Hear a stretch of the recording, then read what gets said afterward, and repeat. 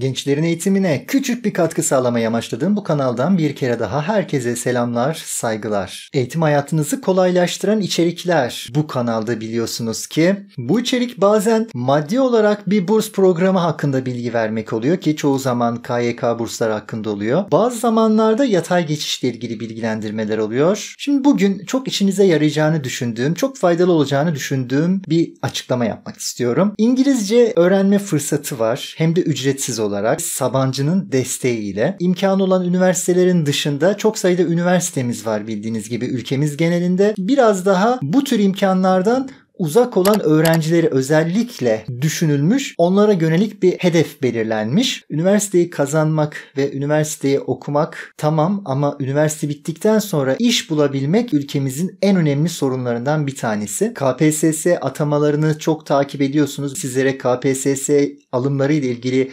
duyumlar aldıkça, duyurular yapıldıkça buradan zaten ben de sizlere açıklıyorum ve birlikte başvurularımızı yapıyoruz. Yapacağız da bundan sonra. Ama takdir edersiniz ki milyonlarca üniversite mezunu var ve milyonlarca kişinin devlet memuru olup KPSS ile atanıp devlet memuru olması pek akla mantığa yatmıyor. Zaten KPSS alımları da kısıtlı oranda ve birçok üniversite mezunu arkadaşımız da iş kovalama peşinde. İşte bu noktada kendinizi yetiştirmiş olmanız sizi bir adım öne çıkartıyor. Üniversite hayatınızda not ortalamanızla beraber kişisel olarak gelişiminizi iyi tamamlarsanız bu size mezun olduktan sonra mutlaka artı puan kazandırıyor. İş bulma safhalarında üniversite mezunlarından beklenilen bir özellik de dil bilmeleri. O bakımdan fırsat buldukça derslerinizin yanında dil eğitimine önem vermenizi de size özellikle tavsiye ediyorum. Şimdi bu noktada size küçük bir desteğim olsun diye yine böyle bir program var. O program hakkında bahsedeceğim. Sonra başvuru linkini açıklamalar kısmına koyacağım.